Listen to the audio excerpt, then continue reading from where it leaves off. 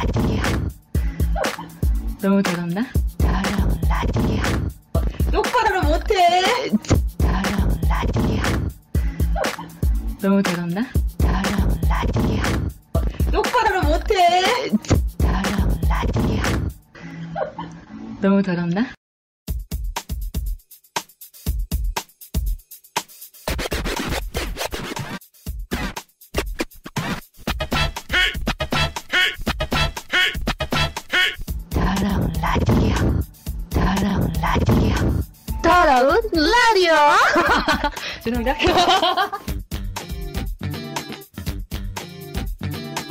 됐다고. 솔직하게 하라고. 똑바로 못해. 더러운 라디오. 너무 더럽나?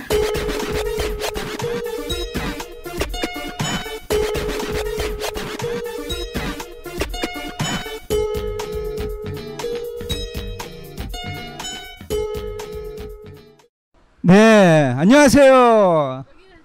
더러운 라디오의 조약골. 포키입니다. 와! 네, 반갑습니다. 더러운 라디오 오늘도 또 찾아왔어요. 네, 아, 잘 지내셨어요? 어제 하고 지금 처음 뵀네요, 또. 네, 안녕하세요. 네, 네, 안녕하세요. 원래 더러운 7코스. 네, 여기가 해군 기지가 지어지기 전에는 정말 아름다운 곳이었어요.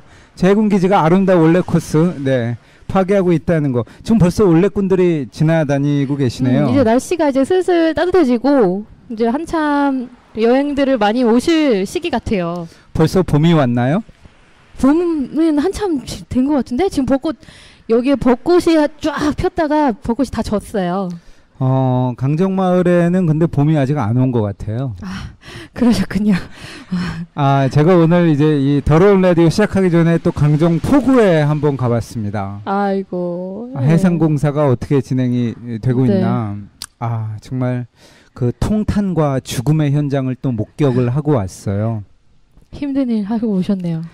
어, 뭐 외면할 수는 없죠. 우리가 아무리 어, 그 부정하려고 해도 음. 뭐 지금 이 그 파괴적인 해군기지 공사가 계속되고 있고 이 바다에 나가 보면은 그 실상을 알 수 있지 않겠습니까? 그렇죠. 그리고 바다 우리가 보기만 하는 게 아니고 지금도 해상팀이라는 멤버들이 음, 틈날 때마다 가서 불법 공사는 하지 않는지 지금 뭐 오탁수 방지막은 제대로 있는지 어떤 지역에 뭐그 등대 밑에 거기도 연산호 군락지가 있는 걸로 아는데 걔네들은 잘 있는지 이런 감시 활동을 끊임없이 하고 있습니다.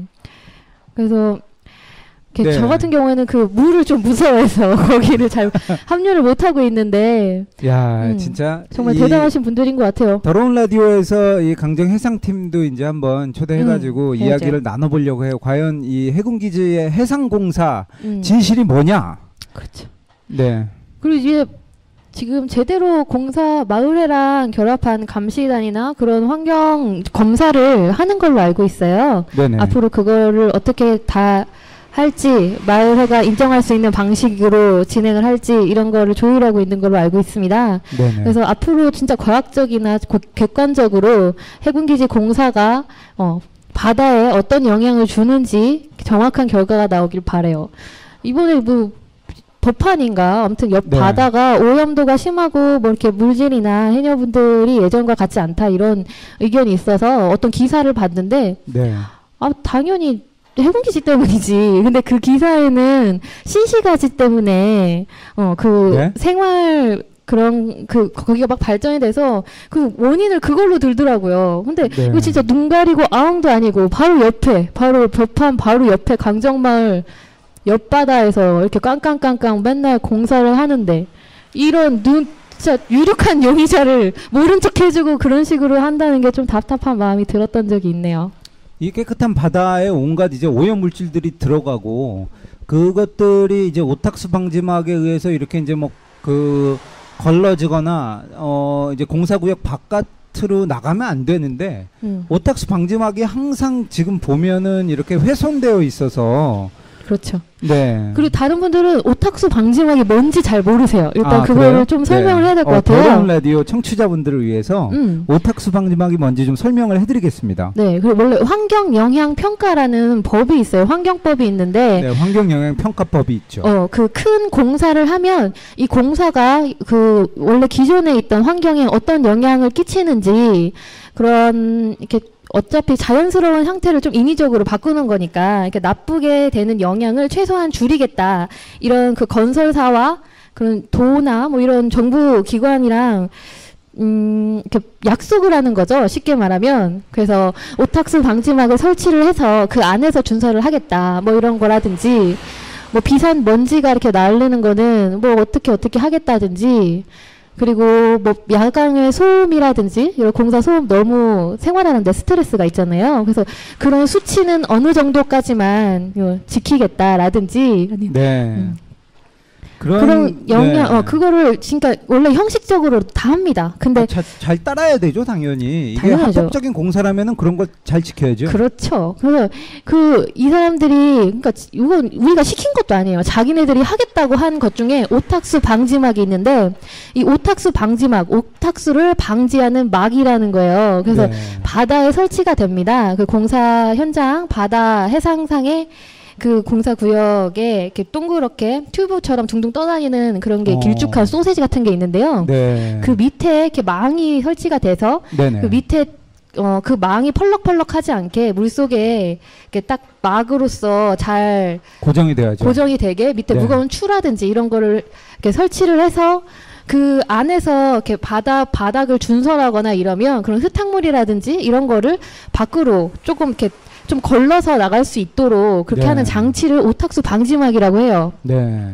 근데 그런 거에 대해서 요 자기네들이 2m의 길이가 되는 네. 안녕하세요, 그런 여러분. 삼중막으로 네. 네. 정말 완전 무슨 과학 공상 과학 그런 것처럼 자기네들이 제시한 게 있거든요. 네. 근데 이게 아무리 세- 그 그냥 이상해서 한번 가봤더니 그 처음에 우리도 복탁수 방지막이라는 존재를 몰랐던 거죠. 그러니까 네네. 환경영향 평가 그런 서류를 보면서 공부를 하니까 어. 얘네들이 이렇게 한다고 해놓고 안 하고 있었구나라를 네. 깨닫게 된 거예요. 알게 된 거예요.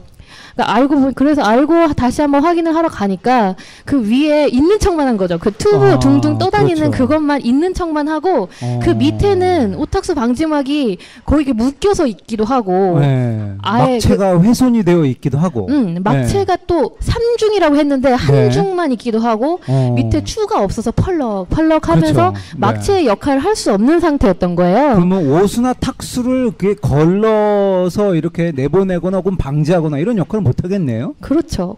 음, 그런 그리고 그런 거에 대해서 우리가 이거 그래서 불법 공사다. 네네. 지금 준설 멈춰야 된다라고 네. 해상팀 음, 사람들이 활동가들이 가서 이렇게 카약을 타고 노를 저어서 네. 가서 그걸 항의를 하면 그런 거에 대해서 잡아갔죠. 그래서 동원 어. 씨가 그래서 크레인에 올라갔다가 그런 걸 그렇죠. 항의하다가 올라간 네. 거죠. 음. 네, 불법 공사를 멈춰라 이렇게 항의를 했다가 네, 네 감옥에 들어가서 또뭐 한참을 있었어야 됐죠. 그렇죠. 그래서 정말 아 그래서 우리가 해경한테도 여러 번 신고도 하고 네. 왜안 오냐 이래도 되냐 그래서 근데 자기네들 다 책임 책- 책임을 회피하기 바쁘고 그렇게 더러운 짓을 했죠. 참 이 강정마을에 산다는 게 그렇습니다. 이 그 복희님도 말씀을 해주셨지만은 저도 물을 두려워해요, 사실. 음, 저 어렸을 때 이제 물에 빠진 적이 있어가지고 죽다가 살아난 적이 있어서 아. 어, 그 어떤 트라우마가 극복이 잘 안 되잖아요. 이게 이제 물을 보면 두려워하는데 이 해군기지 공사가 워낙에 지금 그 불법이 많이 자행이 되고 있는데 해상공사도 불법의 이런 그 요소가 너무 많으니까 우리가 그거를 직접 증거를 맞아. 잡아가지고 음, 고발을 하지 않으면 절대 공사를 멈춘다든가 이런 적이 없어요. 그래서 이 해상팀이 바다에 들어가서 직접 이제 그 불법 공사 실태를 어 증거로 남기고 고발을 하는데 저도 그런 작업에 동참하려고 바다에 여러 번 들어간 적이 있어요. 네, 그래가지고 직접 이제 카약을 타고 이렇게 가서 보니까 아까 말씀해 주셨던 것처럼 위에 이렇게 그 오탁수 방지막을 나타내는 그 오렌지색 부표는 떠 있는데 그그 밑에 보면은 막체가 없거나 훼손되어 있거나 네. 항상 그렇더라고요. 맞아요. 근데 이제 매일 이 공사장에서 아침에 오탁수 방지막 순시선이 있어서 이 감리단에서 음. 그 배를 이렇게 돌면서 기과. 오탁수 방지막이 제대로 자리를 잡고 있는가, 제 역할을 하는가, 그 감리를 해야 되잖아요. 그렇죠. 감리단이 그런 역할을 하는데 음. 저희가 그 제가 직접 봤어요. 이 카약을 타고 나가서 보니까 그 오탁수 방지막 순시선이 아침에 이렇게 한번 쓱 돌아보고는 돌아가는데 음. 그 감시하는 사람이 물 속에 들어가서 보는 게 아니라 배 위에 서가지고 부표를 보는군요. 그냥 네그 부표가 제자리에 있는지 없는지만 보고 다시 돌아가더라고요. 아, 맞아요. 근데 저희가 그 잠수해가지고 물 속에 들어가 보니까 그 부표가 없는 거예요. 그래가지고? 해경한테 음. 신고를 한 거죠.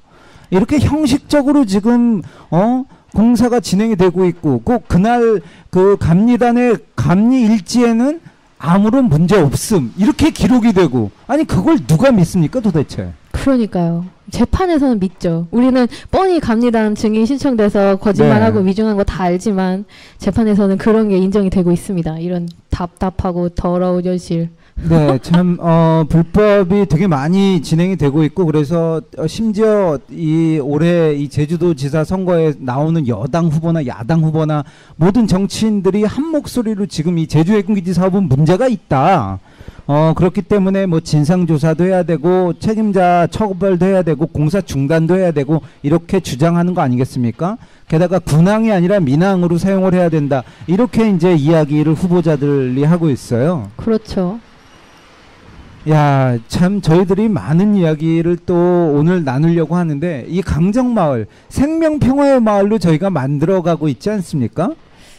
네, 그러려고 노력하죠. 네, 뭐 이게 사실 한순간에 이렇게 마을 자체가 갑자기 무슨 트랜스포머처럼 생명평화 마을로 탈바꿈하는 건 아니고 음, 시간이 오래 걸리겠죠. 맞아요. 이 해군과 삼성이 어, 강정 마을을 지금 어, 부수면서 이 파괴적인 해군기지 공사를 하고 있지만 음. 다른 한편으로 우리 생명평화 활동가들은 이 마을을 진정한 어떤 그 평화가 살아 숨쉬는 어떤 그런 곳으로 만들려고 하고 있고 그 프로젝트 중에 하나가 바로 책마을 프로젝트 아니겠습니까? 네, 맞습니다. 지금 책마을 프로젝트 되게 큰, 되게 크고 장기적인 프로젝트죠. 네네. 음.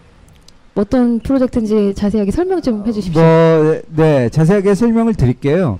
저희 그 더러운 라디오 같이 DJ를 하고 계신 우리 보키님께서는 어, 맞다. 네, 평화 책방에서 일을 하고 있잖아요. 네, 맞습니다. 그 책마을 프로젝트의 어떤 산물로서 음. 강정마을의 사랑방이라고 할 수 있죠. 네. 평화 책방이 생겼습니다. 네, 맞습니다. 네.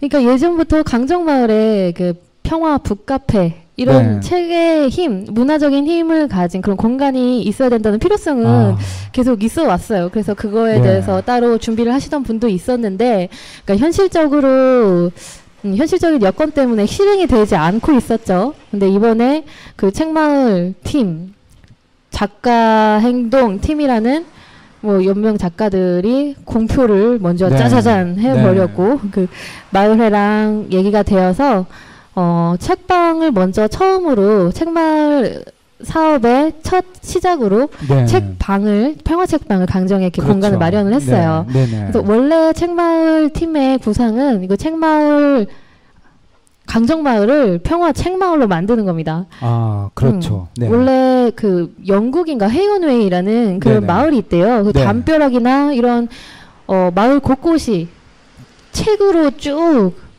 이렇게 전시처럼 이렇게 진열이 되어 있는 그런 마을이에요. 그래서 그런 이렇게 여기가 해군기지 공사를 하고 이런 파괴 생명과 평화 뭐 예술 뭐 이런 말랑말랑하고 아름다운 가치들이 막 파괴가 되는 이 마을에서 그런 문화적인 힘으로 뭔가 이렇게 선점을 하고 그렇게 군사주의라든지 어. 이런 어 폭력적인 그런 방식이 마을에 네네. 뿌리 내리기 전에 그런 네. 문화적으로 건강한 마을을 만들기 위해서 음 책마을 어. 팀이 그 프로젝트를 시작했어요. 그래서 그렇죠. 음, 책마을 아 책방 평화 책방이라는 네. 곳이 어, 사거리에 가다 보면 그 초등학교 그 정류장 가기 전에 음, 책방이 하나가 있, 있습니다. 조그맣게 마련을 했고요. 네. 어, 구조도 되게 좀 아기자기하게 재밌게 만들었어요. 그리고 네네. 거기 있는 책들은 모두 그 시민들, 전국에 있는 시민들이 자기가 가지고 있는 책들을 보내주셨어요. 그래서 막 버리는 책 이런 게 아니고 네. 되게 아끼는 좋은 책 막 사서도 보내주시고 막 네네. 어, 그런 식으로 되게 온갖 정성이 착 응집되어 있는 공간이 아닐까 그런 생각이 듭니다. 그 2013년에 진행됐던 프로젝트 중에 큰 프로젝트가 바로 이 강정을 그 책마을로 만드는 프로젝트 아니었습니까? 그래서 그렇죠. 이제 제가 기억하기로는 2013년 한 6월 정도부터 이 프로젝트가 시작이 되어서 네. 10월에 그 그러니까 이제 몇 개월 동안 시민들이 책을 이제 모아준 거죠. 그래서 네. 그 엄청난 책을 이제 그 배에 싣고 또 많은 아, 사람들이 네. 10월 달에 강정마을로 그 10만 대권 프로젝트라는 이름으로 네. 내려온 거 아니겠습니까? 그렇죠. 네. 책 10만 권을 모으겠다. 그래서 그걸 강정에 보내고 네. 전 세계 어디에도 유래를 찾아볼 수 없는 이 어, 거대한 프로젝트 마을 곳곳에 책들이 넘쳐나고 누구나 여기서 보고 싶은 책들을 그냥 볼 수 있는 이런 프로젝트 아니었습니까? 맞죠. 음, 그래서 어, 식만대권 팁에서 10만 권은 사실 모으지 못했어요. 근데 그랬죠. 3만 권 정도 컨테이너째로 오셨고 네. 그리고 안에서 현실적으로 이렇게 막 배치를 할 수 있는 그런 공간이 준비가 이렇게 탄탄하게 된 게 아니라서 그쪽에서 직접 그 컨테이너째로 도서관 컨테이너 도서관째로 준비를 해갖고 여기 네. 내려놓고 가셨어요. 그래서 그래서 그 어, 문정현 신부님 안녕하세요. 네 오늘 또 순교하라라는 네. 무시무시한 단어를 네, 어, 저도 이걸 보고 아 나도 순교해야 되는 건가 이런 생각이 음. 들었습니다. 네. 어, 문정현 신부님께서 이 자리에서 계속 이제 서각을 하시는데, 맞아요. 네 저희가 좀 이 더러운 라디오에서 우리 신부님 좀 네. 나중에 네 모셔보고 싶은 음. 생각이 드는데 또 기회가 닿으면 모셔보도록 하고요. 네, 아, 나 진짜 너무 부담스러워. 이런 거물급 그런 인사를 여기 마, 라디오에 모셔야 된다고 생각하니까 아니, 두근두근합니다. 저희 더러운 라디오가 거물 라디오예요. 아, 모르셨어요? 그래요? 아, 죄송합니다. 지금 라디오 들으시는 분 중에 강정마을 와보신 분 한번 손 들어보세요. 네, 아 많이 계시네요. 거의 다 와보셨네요. 네. 어, 계속해서 와 주시기 바라고요. 네, 네. 오늘은 저희가 이제 이 강정 마을을 이 진짜 진정한 어떤 생명 평화 마을로 만들기 위한 프로젝트 중에 하나로 이제 그, 그 책마을. 책마을 프로젝트와 그다음에 이제 북카페 우리 평화책방에 대해서 이야기를 나누고 있어요. 네, 그러고 있습니다. 어디까지 얘기했죠? 그래서 이제 그 3만 권 아. 네, 어떤 그 책들을 모아가지고 이제 통물 도서관을 연 거죠. 음, 그래서 센 평화센터 뒤에 하나 컨테이너가 있어서 그 공방으로 지금 생각하고 있어요. 그래서 들꽃님이 인형을 되게 귀엽게 잘 만드시잖아요. 네. 그리고 누구보다 열심히 막 여기서 현장도 지키시고 하시는 분인데 어 그분이 작업도 하시고 그 작업한 인형들도 전시를 하고 있는 공방으로 한 칸을 이렇게 마련을 했고요. 나머지는 그 통물에 통물이라고 그 마을 안쪽에 그 용천수 나오는 용천수라고 하긴 좀 그런가? 그러니까 말라 좀 말라 있는데 여름에 물이 네. 차면 이렇게 네. 물이 나와서 이렇게 빨래도 하고 네네. 이렇게 놀기도 하는 그런 물 나오는 곳이 있어요. 그 통물이라고 하는데 그 옆에 그 컨테이너 세 동을 되게 귀엽게 이쁘게 음, 도서관으로 꾸며놓고 어. 음, 아이들이 가서 쉬기도 하고 그리고 그 주민분들과 여기 서귀포의 뭐 선생님들이라든지 그런 또 자원봉사 하시는 분들이 음, 와서 자리도 지켜주시고 운영도 도와주시고 하고 계세요. 음, 그리고 그때 그러면 통물 누구나 가서 거기서 책을 빌릴 수 있는 건가요? 그렇죠. 음. 어, 나는 이거 사실 진짜 대단한 거라고 생각해요. 왜냐면 네. 이걸 어디서 지원받아서 한 것도 아니고 네네. 진짜 모든 사람들의 이거 강정마을을 지지하고 있는 진짜 많은 시민들의 그런 자발적이고 헌신, 헌신? 아니 이건 좀 어, 그렇지만 그런 세신 아니에요? 세신? 그렇죠. 쟤는 그 뚝딱뚝딱 공사하는 것도 하시고 이렇게 조직하는 것까지 여기서 뭐 우리가 뭐 강정마을에서 요구한 게 아닌데 저 뭐라고 지금 했어요? 드립 쳤는데 아 미안해요. 헌신이라 그러길래 아 셋이 제가 세신이라고 해봐요. 죄송합니다. 어, 말 끊지 말아요. 아무튼 그래서 그 번듯하게 진짜 어떤 다른 도서관이나 서점 부럽지 않은 그런 책들을 가지고 알찬 책들과 그런 운영이나 뭐 이런 것도 누구 어디에 나가도 빠지지 않는 공간이 생겼다는 게 난 강정마을의 뭐 힘이라고만 할 수는 없- 없지만 그래도 네. 모든 사람들이 그렇죠. 이렇게 조금씩 네네. 조금씩 힘을 보태서 이런 거 만들었다는 게 참 감동적인 일인 것 같아요. 야, 이건 어디 가서 우리가 3만 권의 장서를 갖고 있는 마을 도서관을 볼 수가 있겠습니까? 그러니까요. 그 무슨 지원 뭐, 없이. 네, 국가가 만든 것도 아니고 음. 뭐 정부가 만든 것도 아니고 안녕하세요. 네. 여기 그 평화 책방에 보면은 뭐 저 해군 기지 공사장에서 공사하는 음. 분도 와서 이렇게 뭐 쉬어가기도 하고 그런 적도 있더라고요. 그렇죠. 심지어. 네. 얼마만큼 이 강정 에, 책마을 프로젝트 어, 생명평화 마을로 바뀌고 있는 강정 마을이 네. 어, 많은 이들에게 휴식을 주고 있는 것 같아요. 네. 이게 자, 지금 바로 뭐 해군 기지를 찬성한 사람에게 반대를 하라고 강요를 할 수는 없지만 네. 그러니까 이런 책이라든지 이런 문화적인 걸로 서로 공감대를 넓혀가고 조금 네. 더 서로를 이해하게 될 수 있는 그 진짜 평화의 장이 되지 않을까 그런 기대감이 참 큽니다. 네, 그 출발은 바로 이제 평화 책방. 얼마 전 평화 책방이 1주년. 네, 맞습니다. 네, 문을 4월 연지 6일 날 1주년이었죠. 일요일 날 1주년을 맞았어요. 네, 음, 어땠습니까? 음, 저는 안 가봤고요. 하지만 그 사진을 보니까 되게 좀 좋았던 것 같아요. 네네. 음, 그 계속 이게 진짜 뚝딱뚝딱 한 사람이나 진짜 책망을 팀만이 만든 게 아니고 제주 도민들과 그 조금씩 마음 써주고 시고 계시는 그러니까 그것도 원래 강정마을을 뜻깊게 생각하시는 분들이 이거를 계기로 해서 손발을 맞춰가는 그런 일이 했던 것 같아요. 그래서 그동안 신경 쓰주 뭐 그릇을 컵이나 그릇이나 이런 걸 구워주시는 분도 있고 뭐 이런 파티를 할 때 뭐 맛있는 과자나 빵을 구워주시는 분들도 있고 그리고 지금 바나 뭐 이런 것도 고쳐주시는 분 인테리어 뭐 사장님 뭐 이런 분들도 계세요. 그래서 그분들도 다 오셔가지고 같이 축하를 하고 거기서 아이들도 그 강정마을의 아이들도 제가 막 캐리커처 하면서 가- 책방 오라고 많이 꼬셨었거든요. 그래서 네. 그 친구들도 와서 음, 함께 이거를 기를 수 있다는 게 참 의미 있는 날이었던 것 같아요. 아이들이 참 이 평화 책방을 좋아하는 것 같아요. 그 비결이 어디에 있는 있는 있다고 보십니까? 맡겨두는 차가 아닐까요?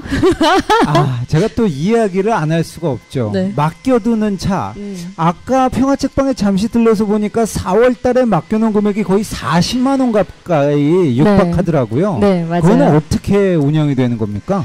음, 사실 책방에 오시는 분들은 강정마을을 거의 이렇게 마음에 두고 계시는 분들이에요. 그래서 네.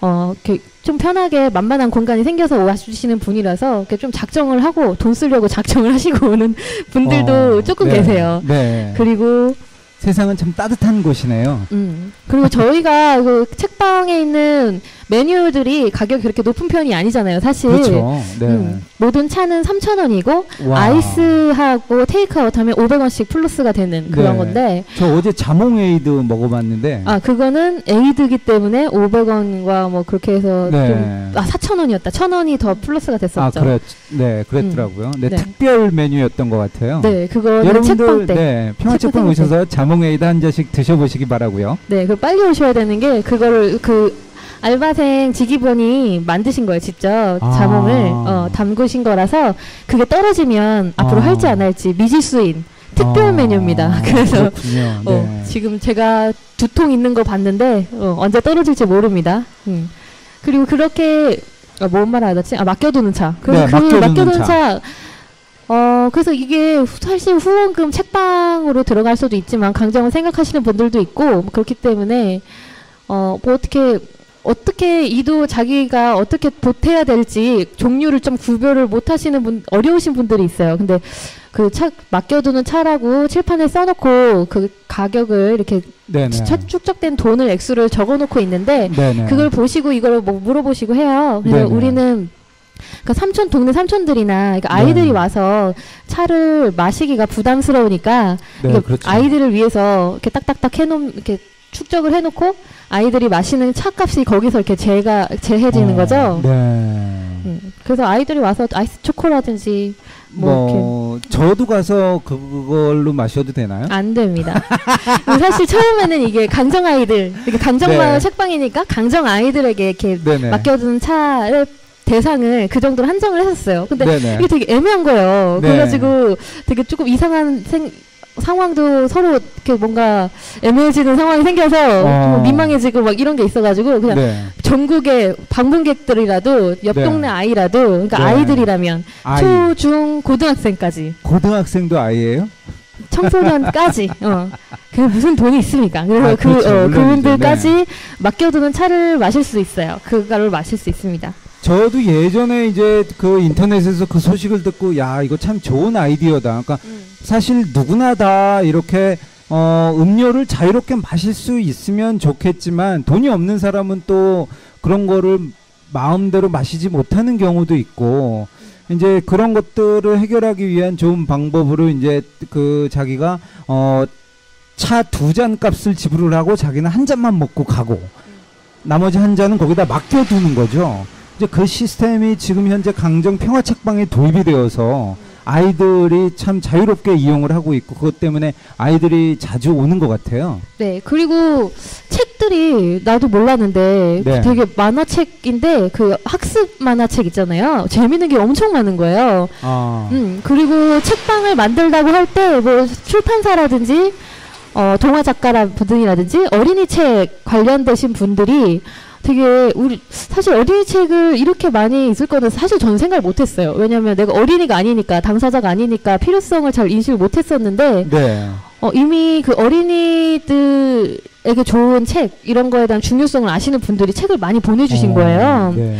그래서 되게 이쁜 그림책이나 그런 뭐 동굴에서 살아남기 막 이런 네네. 탐험이라든지 뭐 이런 좋은 책들을 많이 보내줘서 그거를 보러 많이 와요. 그래서 아이들이 책에 정말 관심이 아, 생기고 지금 또 초등학교 이럴 때는 그런 지적 발달이 막 한창 이렇게 막 폭발할 때잖아요. 그렇죠. 음, 그래서 과학 동화 막 이런 그런 것도 시리즈물로 있기 때문에 그런 거를 막 계속 꾸준히 보러 오고 왔을 때뭐 책에 집중해서 막 음료수도 안 마시고 가고 그런 친구들도 있어요. 어, 그래서 음료수 하나 마실래? 막 이렇게 물어봐도 네. 안 마신다고 막 이렇게 하고 어. 책만 보고 사삭하고 그렇게 하는 게 있어서 되게 좀 어, 정말 이게 딱 한 사람만의 그러기 아이디어나 이런 게 아니고 정말 밖에 있어도 여러분들의 정성과 이렇게 필요하다고 생각하는 그런 지점들이 서로 잘 협력이 되는 것 같아요. 연결이 잘 되는 것 같아요.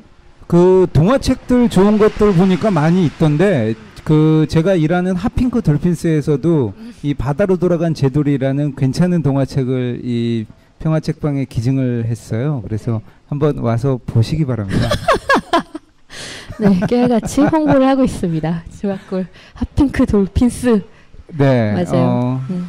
저희가 이제 이 아름다운 강정의 그 구럼비를 바라보면서 거기서 이제 놀던 아이들 이 생태적인 감수성이 정말로 그 누가 가르쳐 주지 않아도 저절로 배웠던 아이들이잖아요. 지금은 이제 구럼비 네. 바위에 갈 수가 없어서 어 그런 그 살아있는 어떤 자연 학습장을 이제 아이들이 잃어버리게 된 건데 그 대신에 평화 책방에 와서 책을 읽으면서 그런 어떤 지적 욕구를 충족시 켜가는 모습을 보니까 참 대견하네요. 네. 그리고 우리도 막 이게 공짜가 아니다. 이게 어떻게 온 거다. 이런 거를 좀 말을 하고 있어요. 제가 네. 좀 조용히 하는 저는 아 적어도 저는 이렇게, 이렇게 조용히 이렇게 막 사랑으로 품어주기 이런 성격이 아니고 그냥 생생은 내야겠기에 네. 내가 한 건 아니지만 그래도 열심히 그래서 아이들도 고마움을 알아야 된다 이런 것 때문에 조금씩 말해주고 있어요. 그리고 다 알아요. 그래서 아이들이 있을 때 아, 아이들 맡겨주는 차 그 맡겨둘게요 하고 하면 옆에 책을 보고 있던 아이들이 감사합니다라고 하기도 하고 그랬던 적이 어. 있습니다. 음. 이 더러운 라디오 방송 듣는 분들이 평화책방에 책을 보내주고 싶다라는 생각이 들 수도 있을 것 같아요. 그렇죠. 음. 네, 그래서 이 저희가 평화책방의 주소 알려드릴게요. 네, 천천히 부르겠습니다. 받아 적으십시오. 네, 볼펜 자. 꺼내시고요. 자, 음. 서귀포, 아, 제주도 서귀포시 강정동 4521 다시 22 번지입니다. 그리고 여기 아 중요한 게 또 있네요. 네, 중요한 후원 거. 계좌가 적혀 있어요 네, 명함에. 후원 계좌. 네, 농협 351 다시 0569 다시 0704 다시 53 강정 책마을 친구들이라고 돼 있네요. 아 이거 네. 근데 좀 민망하다 이거는. 어, 그 평화책방에 전화를 하고 싶으신 분들은 저희 그 평화책방 전화로 또 문의를 하셔도 돼요. 어, 이런 책 보내도 되나요? 뭐 어? 이런 문의부터 해가지고요. 네, 근데 본- 사실 책은 네, 좀 중복되는 책들도 많이 있고요. 네네. 좋은 책이라고 생각하시는 그런 네. 기준이 좀 비슷한 분들이 많이 보내시는 것 같아요. 네. 전화번호가 지금 여기는 070 번호가 거기 있죠. 네. 음. 070-8819-0923. 네. 제가 아까 번호입니다. 여기로 전화 걸었더니 부키님께서 전화를 받으시더라고요. 네, 저 오늘 원래 화요일 제가 책방을 보는 날이에요. 네. 음. 근데 오늘 왜 나와서 책방은 안 보고 라디오를 하고 계세요? 네가 데리고 왔잖아. 네. 라디오는 네, 어떤 일이 있어도 계속 해야 된다. 네, 원래 직위가 테라가 중심 어, 테라라는 직위가 계속 있고요. 네. 하루 쉬라고 제가 대신 원래 화요일만 일주일에 하루만 봐주고 있어요. 근데 오늘은 테라 분께서 라디오를 하라며 저를 기꺼이 보내주셨습니다. 사실은요. 테라가 우리 더러운 라디오의 팬이에요. 아 그래요? 그래가지고 테라 나도 사랑해. 보키가 네 어, 와서 같이 라디오를 진행을 하게 해라. 내가 그 시간 동안에 아. 잠깐 책방을 봐주겠다. 아. 이렇게 먼저 저한테 제안을 했어요. 네, 아 근데 테라는 그 정도는 저한테 해줘야죠. 네. 어, 더러운 라디오에 대한 이 그 애청자분들이 점점 느는 것 같습니다. 아 그럴까요? 어떻게 생각하세요? 나는 좋아요. 좀 반응이 느껴지십니까? 나는 그런 거 잘 몰라요. 아 근데 나는 부끄러워서 못 들어봤거든요. 못 들어봤다니. 민망해서 못 듣겠어요. 저는 제 목소리를. 야, 처음부터 들어야지. 어? 아 모르겠어요. 모니터링이 안 되고 있습니다. 그래서 뭔가 이렇게 이건 안 했으면 좋겠다. 이런 건 주의해줬으면 좋겠다. 이런 거를 댓글로 이렇게 여러분들의 의견을 좀 알려주세요. 제가 직접 듣는 건 진짜 도저히 못하겠어요. 네, 팟빵과 그다음에 이제 아이튠즈를 통해서도 팟캐스트로 이 지금 더러운 라디오가 나가고 있어요. 네. 지금까지는 뭐 너무 좋아요. 이런 반응들이 음. 주로 많더라고요. 음 그렇구나. 네. 아는 사람이 내 페이스북으로만 보니까 페이스북은 다 아는 사람이잖아요. 네. 그래서 아는 사람들끼리만 보는 거 아닌가 싶었는데 모르는 사람도 들어요? 뭐 점차 점차 이제 늘어나고 있고요. 음. 어, 더러운 라디오 또 저희가 오늘 특별 순서를 또 마련을 했는데, 네. 네, 어, 첫 번째 코너에서 아주 멋진 어. 신앙송을 음. 해주셨죠. 네. 우리 로미님께서 네. 네. 오늘 또 또 자리 그 한번 해주셔야죠. 더러운 라디오에 저희가 한번 모셔보려고 해요. 네. 그리고 본인의 직접, 직접적인 요구도 있었잖아요. 네. 음, 자기 코너, 어, 네. 고정 코너 만들어 달라. 막 이런 네. 적극적. 이거 봐, 또 준비를 해오셨어. 와, 일단 진짜 네, 마이크 좀 멋있습니다. 한번 넘겨주세요. 네, 알겠습니다. 네, 안녕하세요. 와. 네, 반갑습니다. 어, 어떻게 또 이거 빗자루를 들고 뭐 청소를 하시는 척하지만 여기 주위를 배회하고 계셨던 걸 보니까 아마 좀 작정을 하고 오신 것 같아요. 그래서 어떻게 네. 또뭘 준비해 오셨는지 궁금합니다. 아, 주학골에 주학골과 네, 주학골과 보키님이 수고를 하시는 것 같아서 제가 잠시나마 수고를 덜어드리고자 시를 준비해 왔습니다. 아, 감사합니다. 네. 제가 참 좋아하는 시인데요. 어제 저녁에 갑자기 이 시가 떠올라서 어, 적어서 와봤어요. 네, 한번 읊어보겠습니다. 봄의 노래 신경림 하늘의 달과 별은 소리내어 노래하지 않는다. 들판에 시세워 피는 꽃들은 말을 가지고 말하지 않는다. 서로 사랑한다고는 하지만 우리는 듣는다. 달과 별의 아름다운 노래를 꽃들의 숨가쁜 속삭임을 귀보다 더 높은 것을 가지고 귀보다 더 깊은 것을 가지고 내 가슴에 있는 뽀얀 안개를 본다. 하얗게 부서지는 파도 소리를 듣는다. 눈보다 더 밝은 것을 가지고 가슴보다 더 큰 아픔을 가지고 정말 마음이 추스려지지 않아 시를 읽는 밤은 오랜만이다. 읽다가 혹 나처럼 비슷하게 잘 지내는 듯 그러나 문득 울컥함에 마음이 아파지는 이들을 위해 같이 읽자고 내어놓는다. 네. 와, 정말 아름다운 시를 제가 원래 로미 씨에게 가지고 있던 이미지랑 되게 조금씩 다른 잔잔한 컨셉으로 계속 밀고 나가시네요. 제 이미지가 어떤데요, 도대체? 아무튼 감사합니다. 너무 좋은 내용이었던 것 같아요. 아름답고. 그리고 로미 씨도 보니까 원래 강정을 알게 된 계기가 책방이 아니었나요? 네, 어, 원래 강정을 알게 된 계기는 아 맞다. 어. 어, 제가 아시는 분께서 아시는 분께서 네. 어, 강 정치 쪽에 관심이 많이 가지셔가지고요. 네.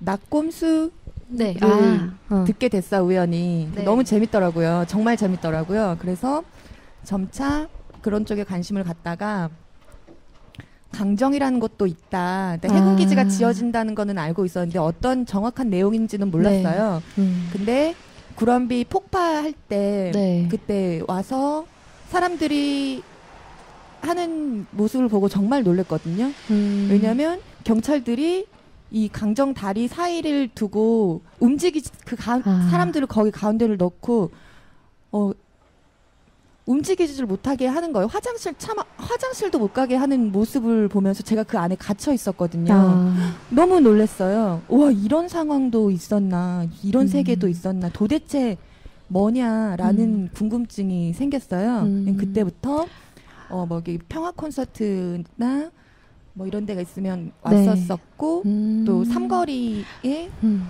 지금 삼거리 말고 예전에 작은 네. 삼거리 맞아. 예, 예. 음. 거기를 자주 이렇게 왔다 갔다를 했었어요. 그랬구나. 어, 그래서 근데 어느 날 그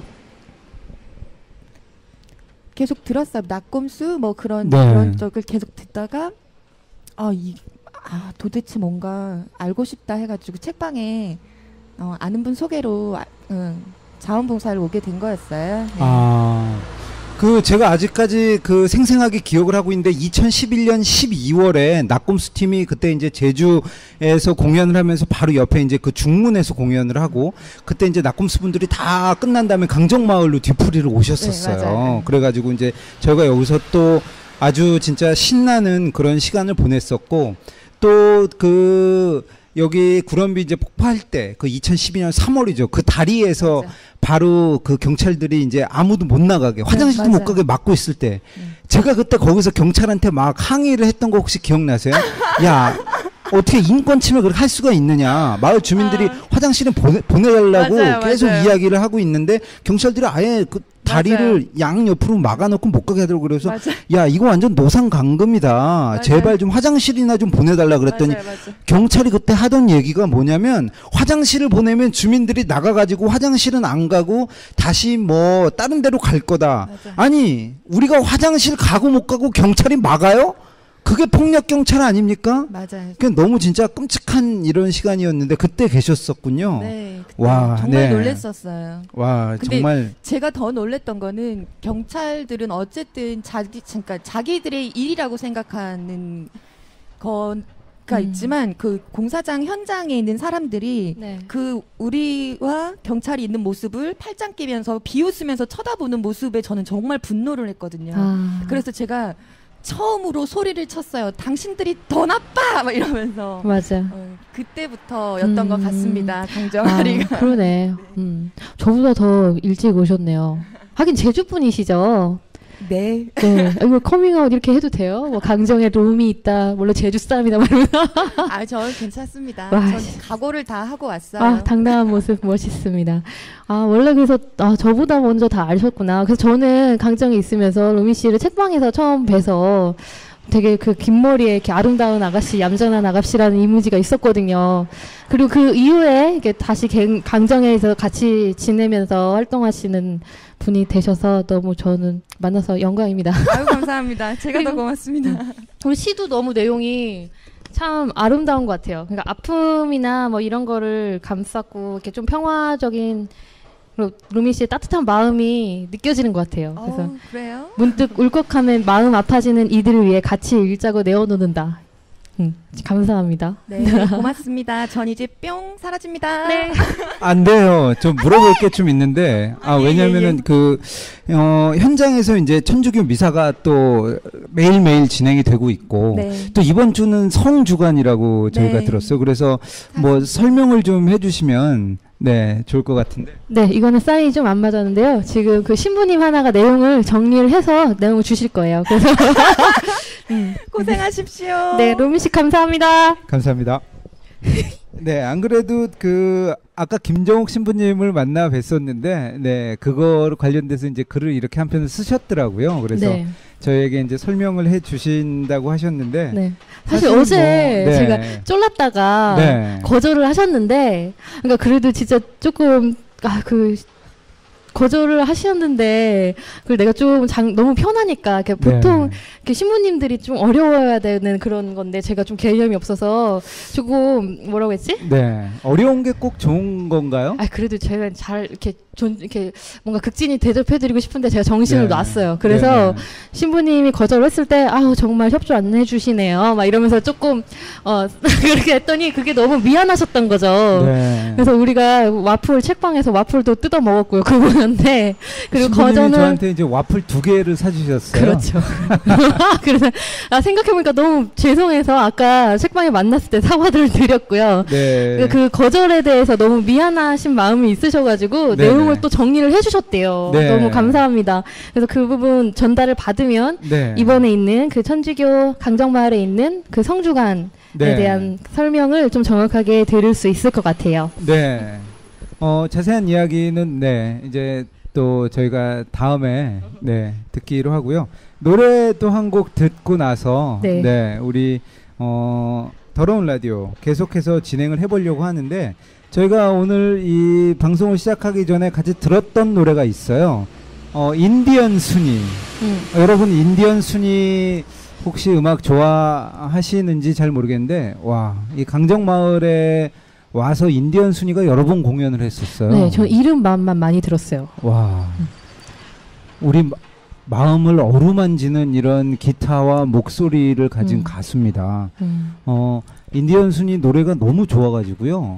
어, 한번 공연을 하고 나서 엄청나게 많은 지지자들이 강정 마을에 생겼었어요. 아, 그래서 인디언 순이님한테 또 와서 노래를 해달라 이래가지고 또 인디언 순이님이 또 와서 공연을 하고 다른 어떤 곳보다도 어, 이 강정마을에 와서 노래를 할 때 그 잘 어울렸던 것 같은 그런 느낌이 들어요. 특히 이제 구럼비 그 바위가 지금은 펜스로 가로막혀서 가진 못하고 있지만 그 옆에서 바다 또 바위 그 위에서 인디언 순이님이 노래를 하던 그 모습을 잊을 수가 없는데요. 그날의 감동 이 노래로는 물론 잘 전해지지 않을 수도 있지만 같이 노래를 들으면서 음. 네, 함께 느껴보도록 하겠습니다.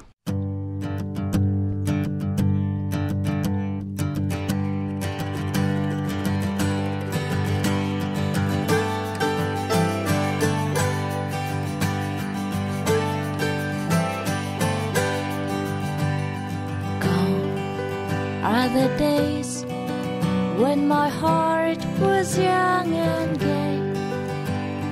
Gone are my friends from the cotton field away. Gone from this place to a better land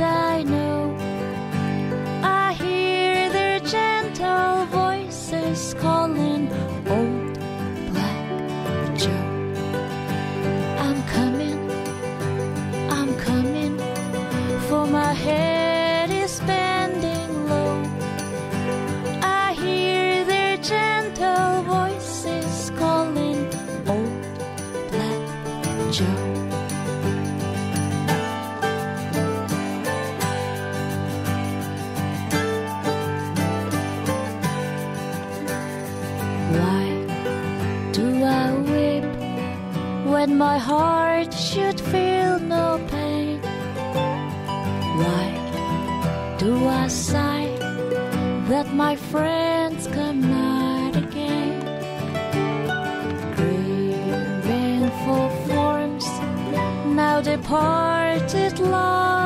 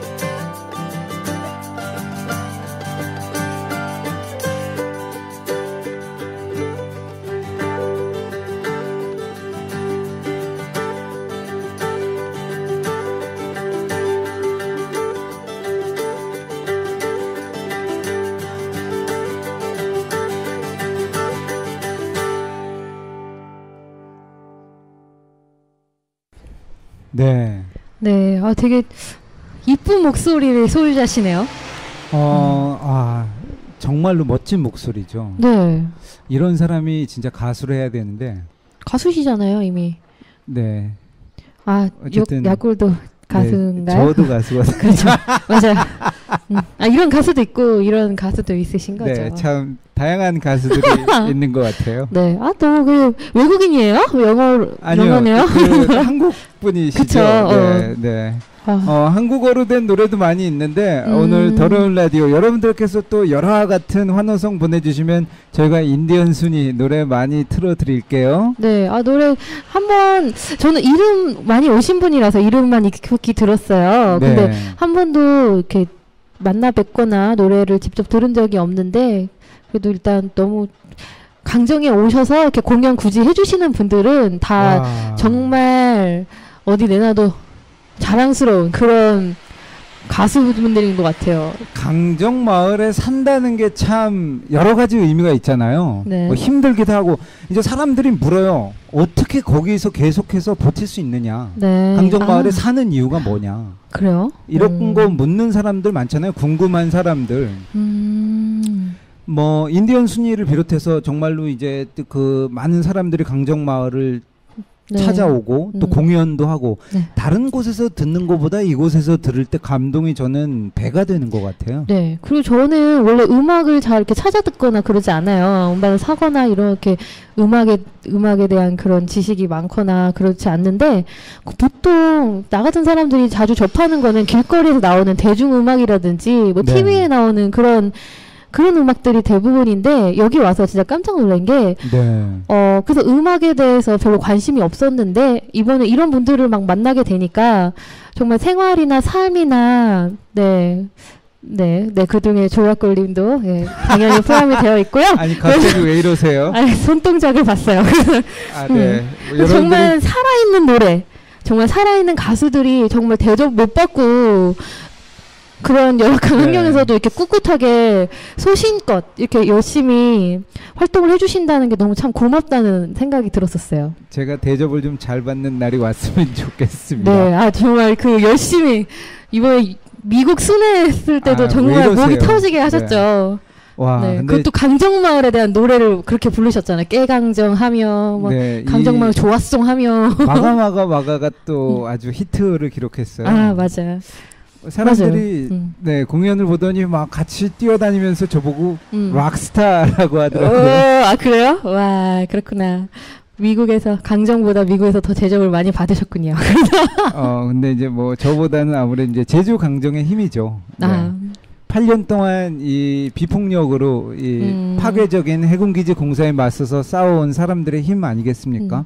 맞아요. 그리고 저도 좀 뒤늦게 왔잖아요. 뒤늦게 네. 왔는데 이미 신짜꽃 밴과 다른 분들이 강정에 대한 노래를 많이 만들어 주셨어요. 안녕하세요, 신짜 꽃팬입니다. 이 신짜꽃 밴 노래 한번 들어야겠네. 네, 나중에 네. 저희 더러운 라디오는 끝까지 계속되니까요. 신짜 음. 노래도 많이 틀어드릴게요. 네. 그래서 어 그래서 신짜꽃 밴으로도 그 신짜꽃 밴의 노래도 강정에 대해서 와 감사합니다. 어, 우리 네, 협찬 들어왔습니다. 농구신. 네. 네. 김성규 삼촌의 네. 생맥주 캔맥주 하나 음, 후원 어, 들어왔습니다. 네, 저희 그 더러운 라디오에서 성규 삼촌도 초대를 해서 음. 또 시를 한번 맞아요. 네, 들어봐야 될 것 같은데 네. 오늘은 저희에게 이제 어, 네. 준비도 안 하셨을 거 이렇게 급작스럽게 하는 거는 네. 시인에 대한 예의가 아닌 아, 것 같아요. 그렇죠. 한번 네, 정식으로 네. 어, 네. 이렇게 초대를 한번 정식으로 한번 하는 게좀 예의 예의에 맞는 것 같아요. 어쨌든 네 캔 맥주는 맛있게 드세요. 저는 네, 술을 못. 마십니다. 아 저도 원래 술 잘 못 먹는데 아, 큰 것도 사주셨네. 잘, 네, 잘 강- 마시겠습니다. 감사합니다. 감사합니다. 강정마을에 살아가면서 참 이 더럽고 힘든 일들 많이 있잖아요. 네. 우리가 이제 더러운 라디오 왜 더러운 라디오냐 해군기지 공사가 더럽지만 또 마을에 살면서 힘든 일들 이런 거 한번 진짜 다 어, 풀어내 보자 네. 이런 또 취지 아니겠습니까? 그렇죠. 더러운 라디오에서 밝히는 강정에서 있었던 내가 겪은 더러운 일들. 빰빠라밤 네 5위 5위? 아 순서까지 있어요? 그렇구나. 어, 없어요? 난 그냥 뭐 몇 개 뭐 우열을 가릴 수 없이 좀 네, 여러 어쨌든- 가지가 떠오르는 것 같아요. 네 먼저 생각나는 거 제가 아 근데 이거 이렇게 술 먹으면서 해도 되나요? 뭐 어차피 저희는 보이는 뭐 라디오가 이거- 아니에요. 그래서 듣는 근데- 사람들은 몰라요. 아, 알겠습니다. 자꾸 와 그 이런 추임새가 나도 모르게 나오고 있어요. 야, 진짜 이 공사 차량들 지나다니시면서 지나다니면서 나, 나는 소리 여러분들 네. 다 현장 라디오가 아니면 들을 수 없는 거죠. 그렇죠. 자, 아니 라디오 방송 이런 진짜 그 엄청나게 시설 잘 갖춰진 방송국에서 하고 이런 현장은 절대 응, 거기서는 못 듣습니다. 맞습니다. 현장 그러면- 라디오가 응. 아니면 진짜 안 되죠. 제가 겪었던 더러운 일 하나를 소개를 할게요. 네. 더럽고 치사한 일이었죠. 이거 근데 이거 사실 이거 이름을 밝힐 수는 없겠죠. 근데 네네. 아마 삼성물산 품질관리과의 강머시기 분이라고 알고 있어요. 네. 저랑 동갑이래요. 어. 그러면 스물셋? 음, 뭐라고요? 아 그런가? 네 아무튼 그, 그 네. 정도로 그 그분 이렇게 뭐자 우리가 이렇게 재판을 하잖아요. 예전에 활동한 것 때문에 재판 때문에 그 제주시에 있는 법원으로 이렇게 출석을 하러 가는데 저희가 왜 재판을 받아야 됩니까? 음? 아 지금 말 끊지 마시고요. 그래서 여기서 서귀포에서 그 제주 법원으로 가려면 시간이 엄청 걸려요. 그래서 어, 600번 버스를 타면 딱 한 시간이 걸리고 어, 딱 제주 법원에서 내리기 위해서 저는 780번을 타거든요. 서귀포 가서 네. 거기서 버스를 갈아타고 그렇게 내리고 하는데 성판악도로 넘어가서 네, 꼬불꼬불 길이 길이 이뻐요. 네네. 그래서 숲터널이 나오죠. 어, 너무 이뻐. 그래서 그 맛에 멀미를 막 부여잡고 그, 그렇게 맨날 갔었는데 아무리 길이 예뻐도 저는 재판 받으러 법원에 안 갑니다. 와 좋겠다. 아니요, 농담에 저도 가야죠. 뭐. 그쵸. 네. 자꾸 말 끊지 말아요. 죄송합니다. 아무튼 그런데 그 가는 게 되게 힘들어. 운전해서 가시는 분도 길이 멀기도 하고 이렇게 넘어가니까 진짜 사실 저는 귀가 좀 약한가 봐요. 그래서 멀미를 좀 심하게 하고 이렇게 맨날 맨날 가는데 한 달에 한 번 정도 길이 그렇게 길어요. 그래서 짧게 하는 게 아니고 우리는 나는 정말 정당하니까 나 무죄를 주장하기 위해서 그 검찰 측에 정, 검찰 측에 그 네. 그런 주장들을 반박하고 동의를 하지 않고 이런 것 때문에 개판이 네. 길어져요. 그래서 그렇죠. 음, 그분 그 사람들이 이렇게 이래요 이래해서 이런 증거가 있다. 근데 우리는 그걸 인정할 수 없으니까 그거에 대해서 반박을 하고 그렇게 그거 하나하나 짚고 넘어가기 때문에 안녕하세요. 음. 네. 네, 감사합니다. 강정에 사는 네, 더러운 라디오예요. 그래서 네, 네. 계시네요. 네. 네, 그렇게 해서 그 하는데 그 중에 증인으로 나오셔야 되는 거예요. 그분이 어. 그 삼성물산의 품질관리과 아니 당연히. 나와야지. 네, 그분이 나오셔야 되는데 어 그분이 계속 안 나오시는 거죠. 아니 왜요? 모르겠어요. 그러니까 그거를 대해서 우리가 그러니까 우린 그분인 줄도 사실 몰랐죠. 그러니까 나오는데 그 어떤 부분이냐면 저기에요. 그 CCTV 그런 어. 원본이 있냐 없냐 이런 네네. 거에 대해서 그거를 네. 증인이 필요한 상황이고 그 다른 분들은 그분 빼고 다 웬만한 분들은 뭐 경찰서 경찰서 분들도 체증하시는 분들도 다 출석을 합니다. 네, 그렇죠. 다 네. 출석을 해서 이렇게 증언을 해주시고 가시는데 그분이 계속 안 나오는 거예요. 한두 번이 아니에요. 그리고 저만 당한 것도 아니고. 그리고 어. 강정마을에서 이렇게 재판을 받는 분들은 거의 싸우는 다투는 부분이 비슷하죠. 그래서 증인이 많이 겹치기도 해요. 네. 그래서 우리의 사정은 별로 이렇게 재판부에서 고려하지 않는데 그 증인들에 대한 고려는 되게 지금 신중하게 해주시더라고요. 어. 음, 그래서 우리는 다 객자 상, 상황이 있고 하지만 이렇게 다 몰려서 그래서 한 번 재판에 내 재판에 있어서 가면 그 하루 종일 그때는 강정의 날인 거예요. 법원이 강정을. 마치 네. 점령한 것처럼 얼굴 못 보던 사람들 거기서 막 그 육지에서 오시는 분들도 네. 있고 그러니까 몰아서 하는 거예요. 강정 사건을 그렇죠. 그 오후 내내 이제 강정에 관련된 사건만 심리를 하는 거죠. 그렇죠. 네. 음. 근데 그런데도 그분이 계속 안 오시는 거예요. 그래서 내가 아니, 그분 무슨 배짱으로? 모르겠어요. 얼마나 바쁘고 얼마나 대단한 일을 하시느라 그러시는지 모르겠지만, 음, 저는 시간이 많아서 그렇게 왔다 갔다 하는 게 아니거든요. 그래서 아 그런 부분에서 되게 좀 억울하고 진짜 더럽고 치사하다 이런 생각이 들었었고 결국 오시긴 오셨었어요. 그래서 근데 저도 그렇고 여기 그 공소 회장님도 그렇고 같이 그때 같은 증인 그분만 남겨두고 다 하고 그분만 기다리면서 출석을 한 두 번인가 세 번인가 가서 그분이 나오지 않으셨기 때문에 5분 만에 그냥 다음 길 정하고 나오고 이런 이야. 적이 있습니다. 정말 참그 미리 알려주거나 이렇게 아 그 증인이 출석 해서 출석하지 아 오늘은 못할 것 같으니까 이제 출발 안 하지 않으셔도 되겠다 뭐 이런 거를 기대를 하진 않지만 아니 그래도 무슨 똥개 훈련 시키는 거예요? 지금 음, 여기 아 진짜 그때 너무 진짜 더럽고 치사하고 화나고 막 그랬었던 적이 있어요. 아니 여기서 법원까지 가는 게한 시간 반 걸리고 음. 예? 밥 먹어야 되고 왔다 갔다 하면 3 시간인데 내 말이 아니 우리 시간은 무슨 뭐 어? 똥값이야? 그러니까요. 그래서 피의자의 신분이기 때문에 네. 그럴 수도 있겠다 싶긴 해요. 근데 씨 우리 그래도 피의자라도 해도 나는 이렇게 부당하고 내가 무죄라고 생각을 하니까 더 어, 억울한 당연하죠. 부분이죠. 우리 당연한 인권이 있는 건데 내 법원이 말이. 뭔데 지네 멋대로 어 와라 가라 해놓고 제대로 준비도 안 해서 지금 증인도 안 나오고 다시 그냥 5분 만에 띡 돌아가라 그러면 그렇죠. 너희들 근데 그- 차비나 주니? 아 근데 아니고요. 증인들은 줄 거예요. 아, 증인들은 주지만 우리들은 못 받아요. 피해자잖아요. 참 이게 참 더러운 현실인 것 같아요. 네. 양심에 따라서 살고자 하는 사람들이 박해를 받는 이런 현실인 거죠. 네, 이게 진짜 나도 사법 탄압, 산업 탄압 이 단어 하면 정말 내가 이런 거 겪을 거라고 생각도 못 했고 네. 이게 이렇게 왔다 갔다 하면서도 그러니까 사실 그런 게 막 무섭거나 처벌이 무섭거나 이러진 않거든요. 근데 현실적으로 막 시간 빼앗기고 뭐 하려 그러면 그거 재판 일을 생각하고 스케줄을 잡아야 되고 이런 게 정말 번거롭더라고요. 그래서 그렇죠. 네. 음, 정말 안 그래 이렇게 나야 좀 이렇게 생, 이상해가지고 그런 거가 그나마 그 정도인데 아니 재판 잡혔다고 음. 연락 오면 사실 욕 나오죠. 맞아. 네. 또뭐 경찰에서 또 검찰에서 또 재판부에서 소환장 날라오잖아요. 음. 뭐 무슨 일이 있으니까 와서 조사 받아라. 몇 월 며칠까지 뭐 서귀포 경찰서로 와라. 검찰 어 청으로 나와라. 뭐 음. 이런 거 소환장 받으면 참 기분 더럽습니다. 저도 그래요. 그리고 참 이게 또 치사 더럽고 치사 아왜 자꾸 제가 알고 있는 방법만 얘기하게 되냐? 또 치사하게 그런 소환장이나 이런 게 또 한꺼번에 오잖아요. 네.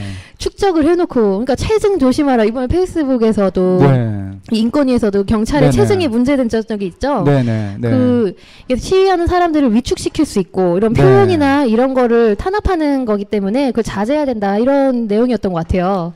그 사실 어제도 저희가 이제 그 세계 군축의 날 행동을 하고 있는데 네. 경찰들이 와가지고 체증을 하더라고요. 네. 그런데 바로 며칠 전에 국가인권위에서 경찰청한테 경고를 한 거죠. 너희들 무차별적으로 그렇게 지금 경찰들이 체증을 하는 게 인권 침해다. 네. 헌법에 보장된 초상권을 침해하는 거다. 네. 그랬더니 경찰청에서 아 그러면 이제는 무분별한 이런 그 인권 침해 요소를 좀 줄이겠습니다. 이렇게 네. 국민들한테 약속을 한 거죠. 음. 그랬는데 나와가지고 계속해서 체증을 하더라고요. 네. 그래가지고 야 이거 경찰청에서 약속을 했는데 왜 계속해서 체증을 하냐 그랬더니 아 뭐 경찰청에서 언론한테 그렇게 얘기를 했는데 아직 저희들한테 는 이게 뭐 지침이 전달이 되지가 아, 뭐안 그러네. 했다. 아 그러면 지침이 내려오면 바뀌는 건가요? 그것도 확신할 수 있을까? 뭐 어쨌든 또 음. 경찰청에서 보니까는 이번에는 뭐 새로운 카드형 카메라를 뭐 이렇게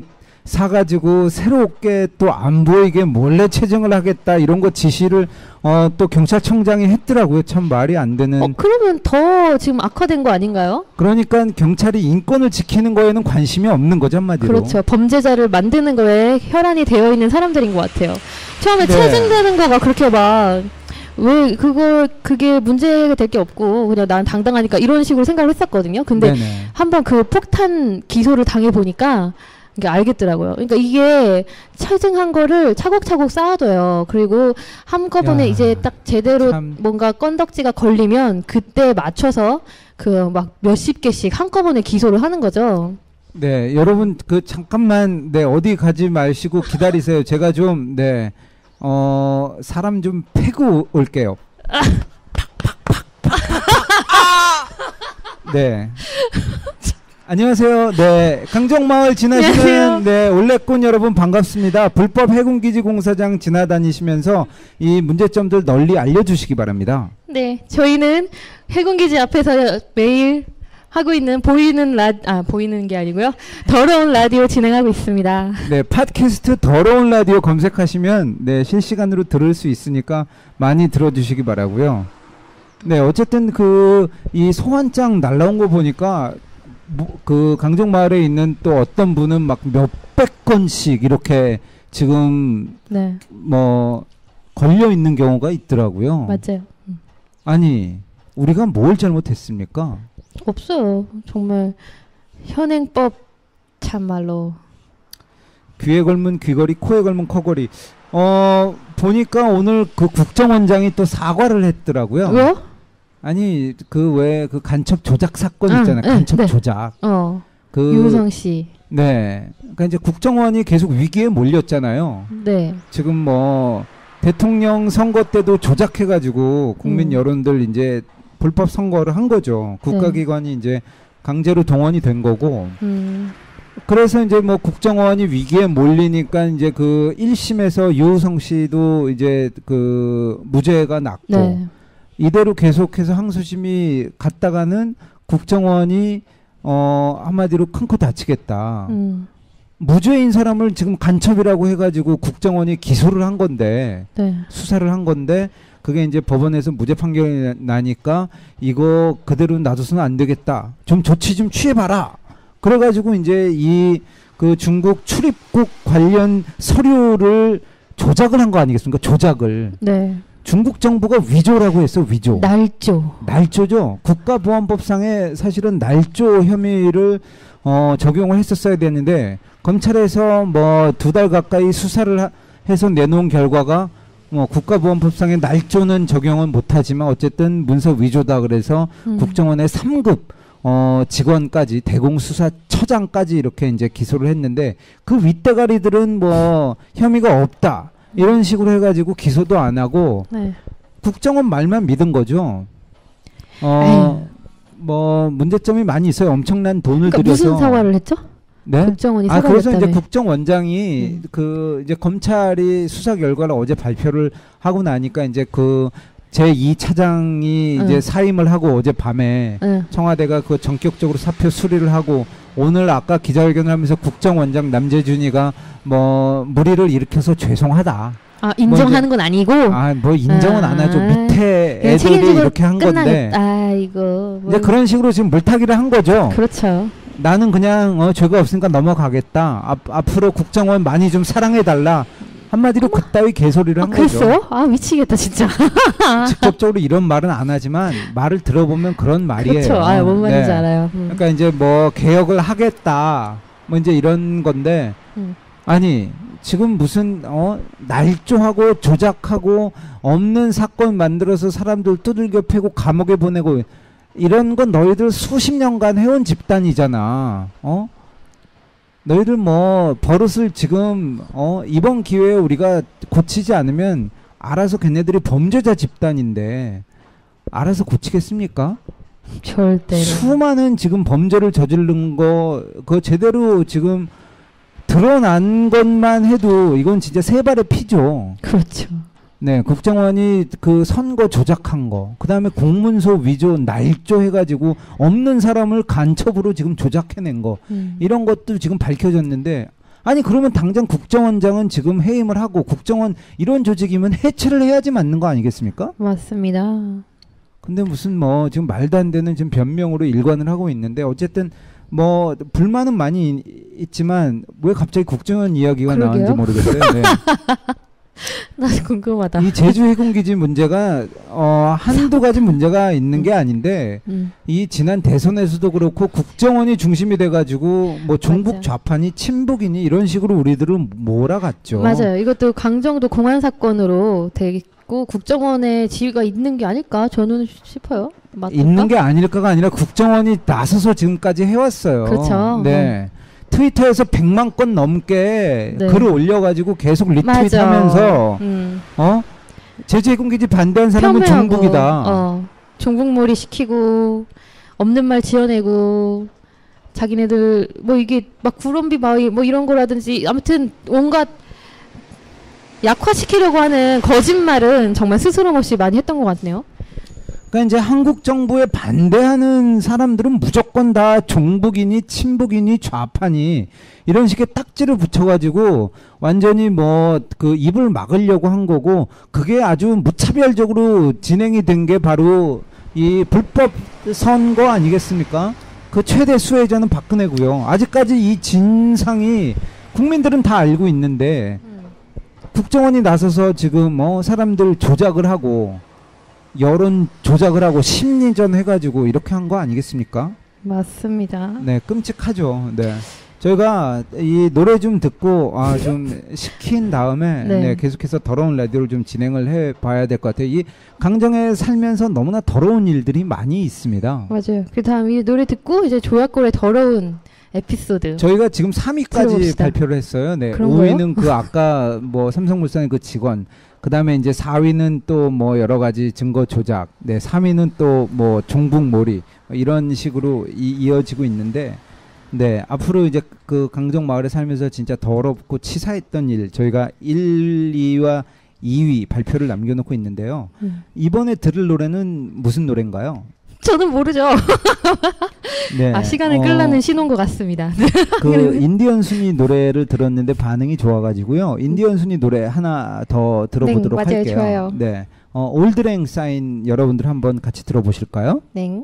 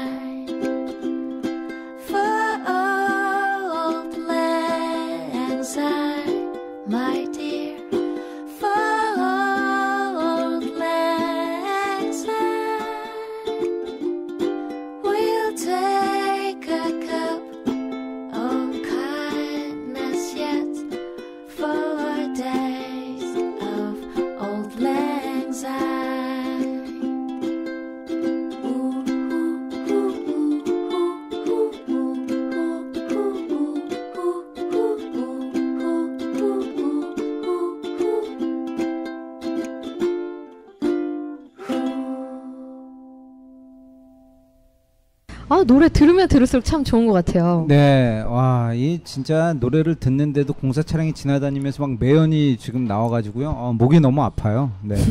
또 이번에 라디오 끝나고 책방에서 와플로 목구멍을 씻으실 건가요? 네, 그래서 참 더럽고 치사한 것들 중에 하나가 이 그 공사 차량들이 지나다니면서 아, 이 제주도가 참 공기가 맑고 음, 깨끗한 맞아요. 곳인데 강정마을만 예외인 것 같아요.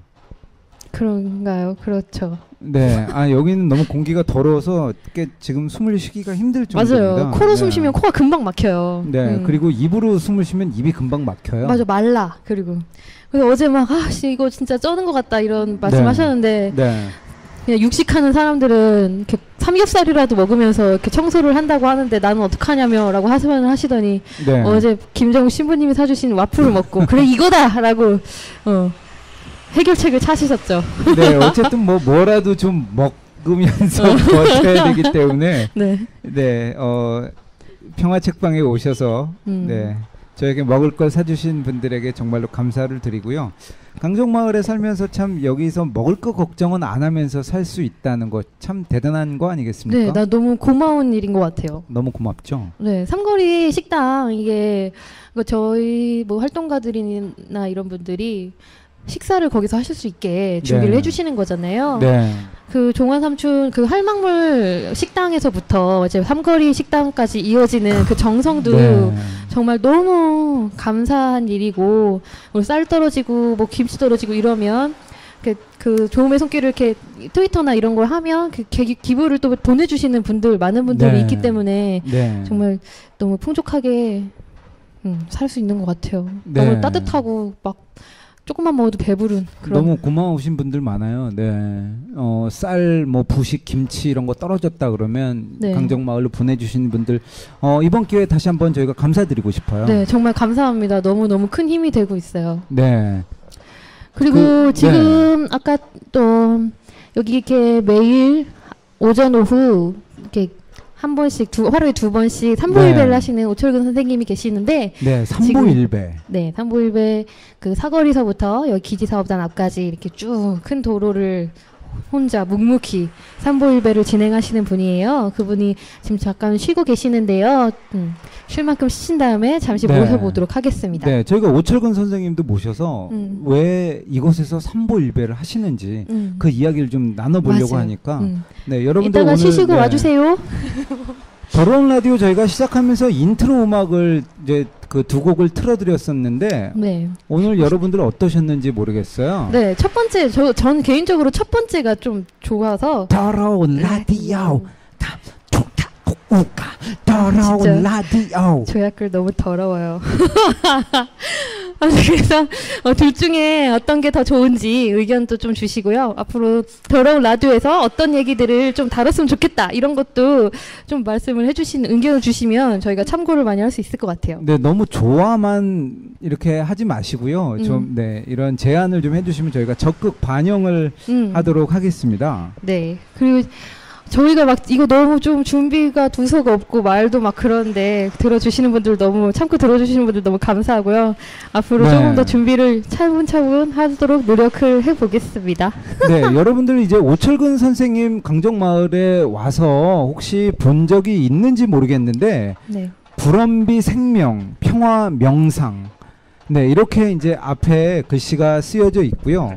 또 오철근 선생님 뒷부분에 보면은 걸음마다 생명 평화 이렇게 적혀 있죠. 그래서 어느덧 이제 500일이 가까워지고 있어요. 그래서 저희가 이제 500일이 되면 같이 삼보 일배를 하려고 하는데 오철근 선생님 그 오랜 시간 동안 이 강정 마을에서 삼보 일배를 어, 하시는 이유가 어디에 있을까요? 뭐 사람은 다뭐 자기를 위해서 다 존재하는 거 아닙니까? 그러니까 우선은 저 자신을 위해서 하는 거고요. 다음에는 이 사회를 그 뭔가 밝혀보자 하는 그런 뜻에서 하는데 원래 그 삼보일배라는 거는 불교 문화에서 나온 거 여러분들 아시잖아요. 근데 그 불교에서 그, 그 인간의 그 뭔가 수양을 하는 데 있어서 가장 그 걸림돌이 되는 게 뭐냐 하면 그게 그 뭡니까 삼독이라고 그러잖아요.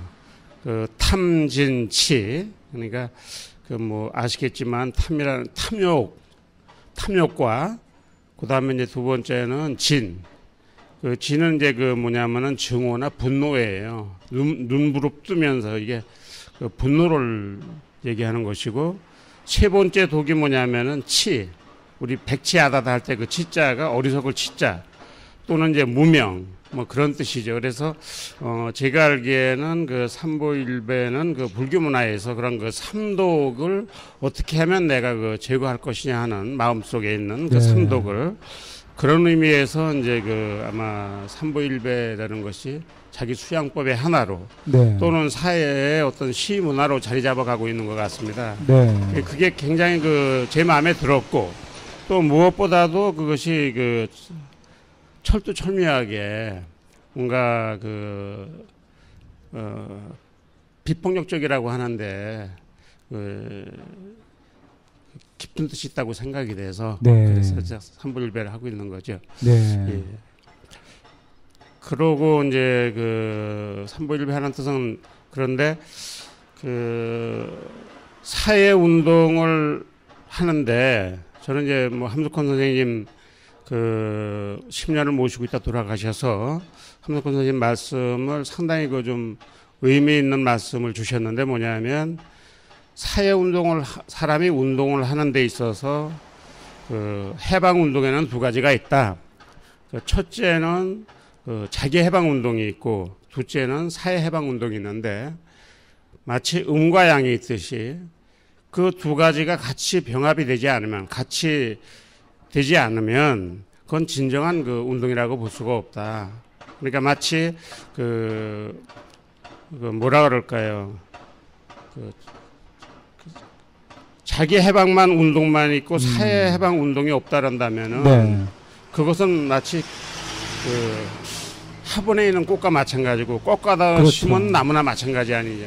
네네. 그래서 뿌리를 깊게 내리고 정말 그 나무가 생명 생명의 꽃을 피우려면 네. 배지에 뿌리를 박듯이 자기 자신의 성찰 없는 사회 운동은 일시적으로는 그것이 아마 큰 힘을 발휘할지 모르지만은 그것이 지속적이고 영구적은 될 수 없다. 네. 그런 말씀을 제가 깊이 이해를 하고 그렇게 해서 그걸 한번 실천해 보려고 노력을 하고 있는데 네. 참 부끄럽게도 지금 이제 어 제가 이번에 세 번째 내려와서 뭐 일주일 있으면 이제 뭐 500일이 되잖아요.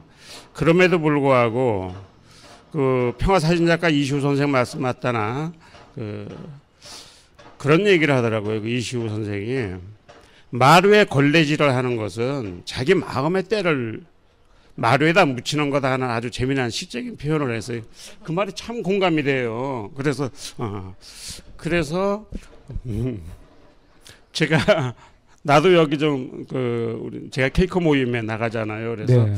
내가 강정마을에 가서 마음의 때를 네. 아스팔트에다 좀 묻히고 오겠다. 아. 그런데 와.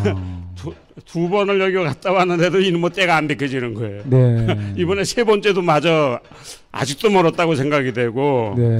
그래서 욕심 같아서는 그 500에 500, 뭐 숫자의 의미가 있는 건 아니지만 네네. 500의 배로다가 한 천, 천일을 한번 목표로 삼아보자 하는 게 와. 제 꿈인데 네.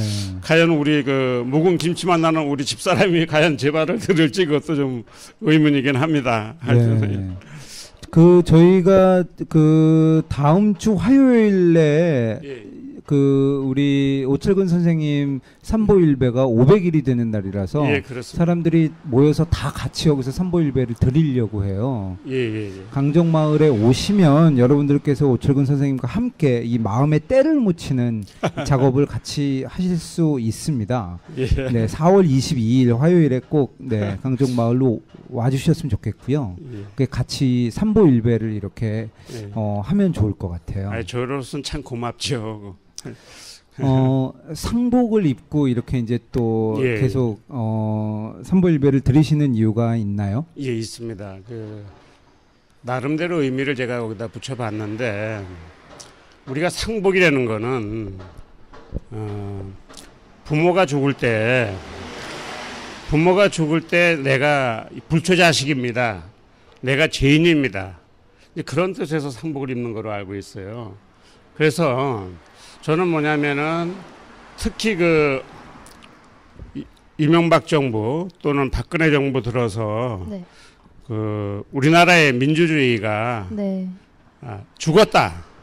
아, 첫째 네, 죽었다. 네.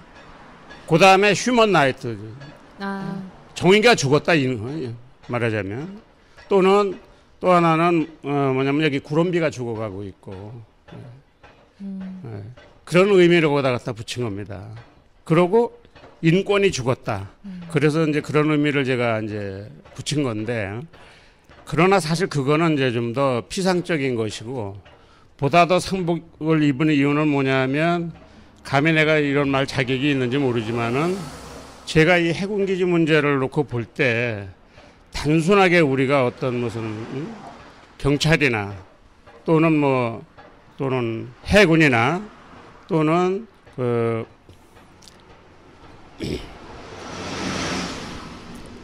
정보하고의 정보하고의 그 싸움이죠. 우선 볼 때는 싸움이지만 보다 깊게 보면은 이것은 역사적인 죄다. 네. 다시 말해서 우리나라의 자주권이 결국은 미국에 예속되다 보니까 네네. 지나치게 그 미국에 예속돼서 결국 미국 어, 에, 그 말을 듣고 모든 우리나라 대통령조차도 참 미국의 말을 듣지 않으면 제대로 대통령으로서 할 수 없다고 하는 이- 이런 것이 에, 가장 그 심각한 문제이기 때문에 그 물론 개인 개인의 우리가 죄가 있지만 역사적인 역사 안에서는 모든 생명이 얽혀져 있기 때문에 네. 마치 여기에서 그 미사를 드리고 있는 그 천주교에서 어, 내 탓이 내 탓이다 하는 그런 그 어, 슬로건이 있듯이 우리가 역사의 죄를 그거를 무조건 그 남에게 떠밀 게 아니라 네.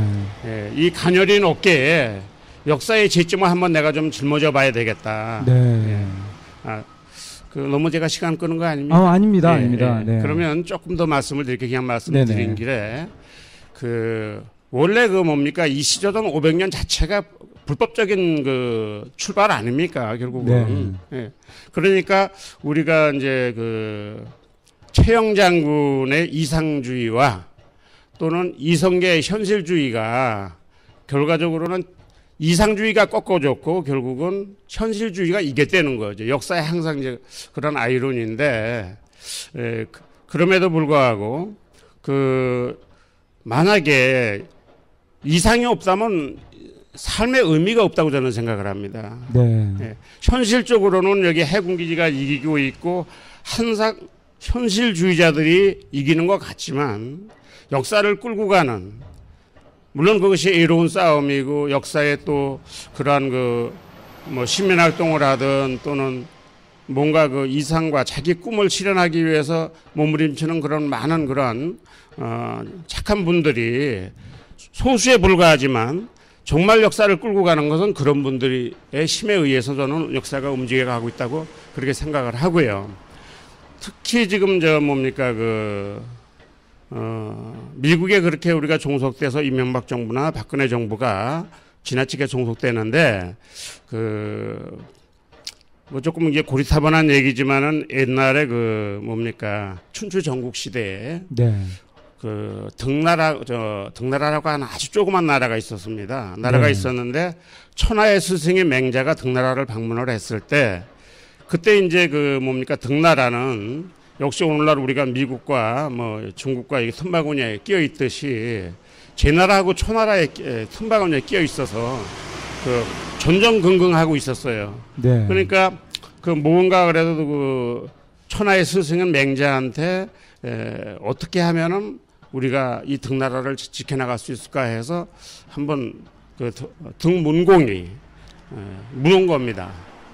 그 맹자한테 묻기를 어, 사제 호의가 한문으로 사, 아, 사초 호의가 무슨 얘기냐 하면 일사자에다가 초나라 초자하고 뭐이 제나라 제자인데 그러니까 에, 제나라에 기댈까요? 이제 조금 쉽게 풀이하면 네. 제나라에 기, 제나라에 기다릴까요? 등나라에 기- 저 초나라에 기대, 기댈까요? 네네. 그러니까 그 맹자가 하는 얘기가 내가 감히 그것까지는 뭔가 내다볼 수 없고 또 자신 있는 말은 할 수가 없습니다. 그렇지만 꼭 한마디를 나보고 얘기하라고 그런다면 그런다면 성주에 우물을 깊게 파고 백성들과 함께 죽기로 뭔가 싸우면 전혀 승산이 없는 건 아닙니다. 그러니까 중립을 지켜야지 어느 한쪽에 치우치는 것은 네. 예, 결국은 그것이 진정한 살 길이 아니라고 하는 그런 뜻인 것 같아요. 제가 알기에는 네네. 예. 우리나라의 좀 처해진 네. 현실이 예, 그렇다고 보는 거고요. 네네. 그리고 가장 대표적인 그 뭡니까 그 어, 그 이조 500년의 그 친명파 네. 친명파의 한 사람이 선조 대왕입니다. 네네. 그럼 선조가 그 의주로 그 임진왜란한테 의주로 피난을 가가지고 이제 임진왜란이 끝나고서 구사일생으로 돌아와서 궁궐에 앉자마자 네. 그 시호를 일곱 글자 시호를 내린 게 있어요. 네. 뭐라고? 신하한테 네. 그게 어, 경기도 조정암에 가면은 그 선조의 그, 그 일곱 글자를 그거를 기리기 위해서 조종암이라는 그 바위가 있습니다. 그러니까 그거는 어 그 거기에 새겨진 그 글자가 뭐냐면은 어, 만절필동 만번 그러니까 만번 일만 만자 끊어지 어, 끊을 글자 만절 필 반들 필자 동력동자 어, 만절 필동 제조번방 어, 다시 제자 만들조자 번방이라는 건 제후국을 뜻하는 거예요. 그런 신하의 나라라는 뜻이죠. 그러니까 어, 다시 말해서 아무리 예수의 침략이 많고 그렇게 해서 뭐 만 번이 꺾여도 명나라의 항은에 힘입어서 다시 만들어준다. 네. 예, 그런 아주 아주, 전형적인 그런 네. 뭐 정말 치가 떨릴 정도의 네네. 어떤 그런 친일파, 어, 치- 네. 그 친명파였던 선조지요. 네. 네네. 아마 이명박이가 좀 아마 그런 사람 아닌가 저는 네. 그런 생각을 해봅니다. 네. 지금으로 예. 따지자면 친미. 예, 네. 그렇습니다. 예. 네. 그래서 우리가 미국에 붙어야 되느냐, 중국에 붙어야 되느냐. 예, 뭐 이제. 그런 질문을 예. 해볼 때, 예. 네, 우리는 만 번이 꺾이더라도 음. 미국에 붙으면은 예. 잘 살아남을 거다. 예. 그러니까 당시 대통령이었던 자가 이렇게 예. 네, 신하들에게 말을 했군요. 예. 참, 네, 그러니까 송강호 박사가 뭐 주창한 예를 들어서 영세 중립 네, 중, 네, 예, 중립 그렇죠. 예, 이 제주도가 네, 어, 영세 중립을 지향해야 된다고 하고 그런 말씀이나 네, 또는 그 아까 말씀드린 그 나의 좀 큰 스승인 함석헌 선생님도 중립으로 가는 길만이 살 길이라고 이렇게 네. 말씀을 하셨어요. 네, 네, 예. 그게 뭐, 그, 제가 뭐 이런 말 하면 잡혀갈지 모르지만 저는 어떻게 보면은 옛날에 그 김일성이가 네, 그 정치는 하나 어느 면에서 좀 잘한 구석이 있다. 다 잘한 네네. 건 아니지만. 네, 그 독재는 나쁘지만 네, 어디까지나 등거리 애교를 하지 않았느냐. 네, 그러니까 중국에서 중공에서 옛날 중공에서 저 지원을 안 해주면은 소련에 붙었다. 네, 또 소련에서 지원을 안 해주면 또 중공에 붙었다. 네, 그렇게 해서 뭔가가 어느 정도 등거리 유, 유, 에, 그런 애교를 해오지 않았느냐. 그건 우리가 어느 점에서는 어, 아무리 못된 사람한테도 네, 뭐 배울 구석이 있다. 저는 그런 생각을 좀 해봅니다. 네, 네. 아, 이게 좀 너무 제가 말이 좀 길어졌습니다. 음, 네, 뭐 저희가 그 더러운 라디오에서도 이미 이제 그 뭐냐 코스타리카 이야기를 하면서 같은 이야기를 나눴었어요. 네, 예. 네, 네. 그래서 뭐 그 비슷한 이야기인 것 같습니다. 우리가 어떤 강대국의 우리의 그 뭐 삶의 조건을 다 그냥 떠맡긴 채 어, 강대국이 알아서 우리를 지켜줄 거다라는 생각이 얼마나 무의미한 건지 어, 이런 것들 다시 한번 일깨워 주신 것 같습니다. 네. 수없이 말씀드려 죄송합니다. 아닙니다. 정말 좀 좋은 말씀 많이 해주신 것 같고요. 네 마지막으로 또 저희 한마디 해주시고 네 저희 그 더러운 라디오 오늘은 마무리 지으려고 하는데 네. 네 오늘 이 라디오에 나오신 소감 한마디 해주시죠. 아까서부터 제가 이게 저기서 삼보일배를 해오면서 이렇게 어, 두 분의 얘기 말씀을 이렇게 기다만 듣고서 야 정말 참 멋진 아, 멋진 더러운 라디오다 그런 그런 느낌을 제가 들었고요. 아, 언제 이렇게 복귀 씨가 또 이러한 숨은 재능이 있는지 아이, 저- 자, 아, 감사합니다. 좋게 봐주셔서. 원래 재능이 뛰어난 친구예요. 그래, 뭐래. 그 뭡니까 제가 요즘 어, 전에도 좀 불렀던 건데 노래 한 마디 불러도 되나요? 아 그럼요. 네네. 그그왜 그 뭐냐 하면 이제 올라갈 날이 이제 며칠 안 남다 보니까 더욱더 이제 그 어떤 애절한 마음이 드는 거예요. 네. 그래서 그 제 애절한 마음을 그 나훈아의 영령에 좀 담아서 네. 마이크 두 개를 잡고 부르시는 게 좋을 것 같아요. 네. 아니 그 뭐 그렇게까지야. 예.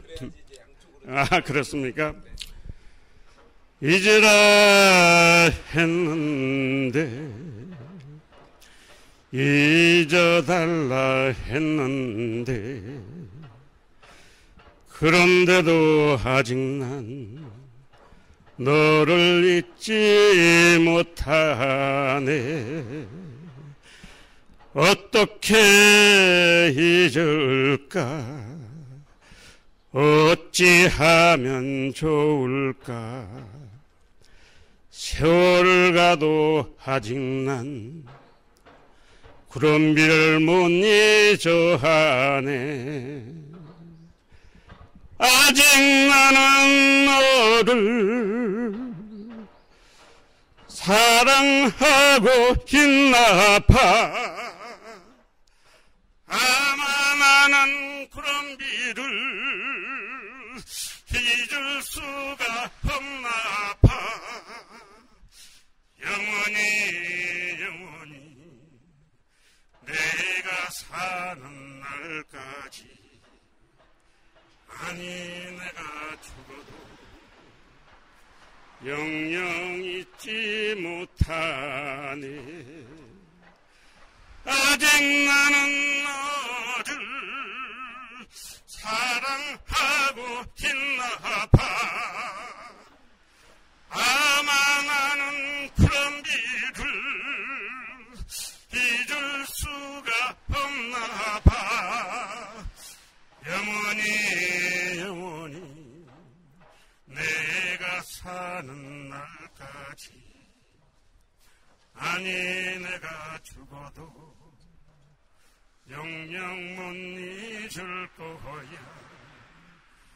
아니 내가 죽어도 영영 못 잊을 거야 네. 조금 하다고요. 아닙니다. 감사합니다. 너무 잘 들었어요. 네. 감사합니다. 네, 오늘 493일째 네. 삼보 일배를 하고 4년 계신 차. 네 오철근 선생님 모셔서 네. 정말 중요한 이야기 들어봤습니다. 오철근 선생님 감사합니다. 감사합니다. 네. 네, 어, 더러운 라디오 오늘 세 번째 라디오 방송이었어요. 네. 오늘 어떠셨습니까? 음, 아, 어제는 사실 할 말이 있었어요. 막 검색도 해오고 네. 원희룡 씨에 대해서 씨, 이런 말 해야지 하고서 벼르고 아니 딱 오늘은 할 시작을 말이 했었는데 없었어요? 아니 오늘은 무슨 얘기하지? 막 이런 거 너무 준비가 안 됐고 시작을 한 것 같아요. 근데 역시 강정은 또 이게 묘미 아니겠습니까? 야, 그냥 준비 저희들은 없이 시작해도 네. 이렇게 보태주시는 훌륭한 분들 이렇게 같이 완성해가는 그런 맛이 또 강정의 매력이 아니겠습니까? 아, 강정에 살면서 우리가 이야기 소재가 떨어질 날은 없어요. 맞아요. 지금 저희 가슴 속에 응축되어 있는 이 응어리들 맞아. 우리가 지금 아이고. 하고 싶은 말이 얼마나 많습니까? 네. 지금 몇 년 동안 쌓인 것들 아니겠습니까? 그럼요. 우리가 이걸 다 하나하나 풀어 나가겠습니다. 와우. 네. 아 지금 또 오철근 선생님 이제 삼보일배를 또 시작하셨어요. 네. 정말 너무 음, 감사드립니다. 이렇게 강정에서 어. 같이 계시는 것 자체로 네, 음, 자신을 위하신다고 네, 하시지만 네네. 이게 정말 큰 힘이 되는 것 같아요. 한 걸음 한 걸음이 진짜 생명 평화의 발걸음이고요. 그 한 걸음을 내 디디면서 음. 이 땅에 평화가 오는 거 아닌가. 음, 저는 그런 생각이 듭니다. 네. 어, 누구보다도 천천히 이렇게 삼보일배를 하시면서 강정마을과 해군기지 공사장 주변을 이렇게 어, 도시지만 그 느릿느릿 걸어가는 걸음걸음이 진정한 생명과 진정한 평화를 가져다 주리라고 저희들은 믿습니다. 네. 네, 오늘 그 세 번째로 진행된 더러운 라디오, 아, 또 많은 분들이 함께 해 주셨고, 또 음. 다음 더러운 라디오는 더 많은 분들이 함께 해 주실 거예요. 맞아요. 네, 우리 로미 님 오늘 방송 어땠는지, 더러운 라디오 만세! 감사합니다. 아 진짜 저 여자 참. 맞아 요 원래 저런 여자예요. 그 아름다운 시를 읊었던 여자가 동일 인물입니다. 네, 어, 우리 더러운 라디오 오늘 마지막으로 노래 한 곡 듣고 오늘 네. 이 자리를 또 마무리 지으려고 합니다.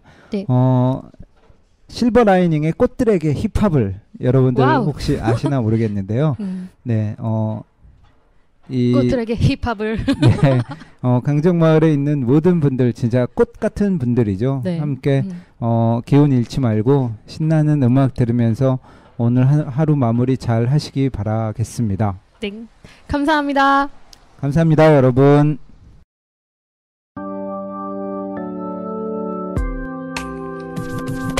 축하해 너의 이런저런 일들 그 자리에 플로리로 들어선 꽃다발들 우리 잘려나간 화사한 얼굴 하루 지나 냉큼 죽어버린 힙합을 난 꽃의 희망을 깜깜한 빛 속에도 꿈틀대는 빛들을 꽃들에게 힙합을 난 꽃의 희망을 엇갈린 힙이 사이사이 흐트러진 꽃잎을 들어봐. 내가 짓거리는 것들 랩을 한다시고 중얼거린 것들 흔들 흔들 흔들리며 피어난 꽃들 비틀 비틀 위로 피어난 꽃들. 빌어먹을 넌 네가 쓰는 살아있지. 호수뿐이 거 힘들어도 드는 건 잠깐이라. 너니 사랑하면 지겹다. 하늘 속이 짚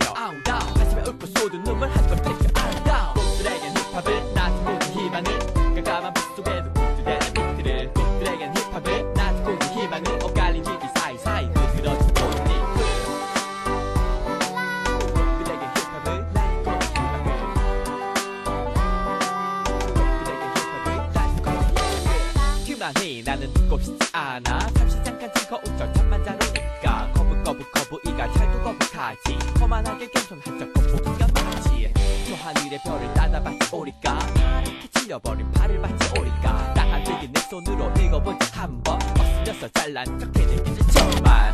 중국까지 다 오는 넥타이 편한 거린거리 휘청하는 하인 누구나 눈을 높아 내 컬러는 화이트 속을 까맣게 다 들어가 다이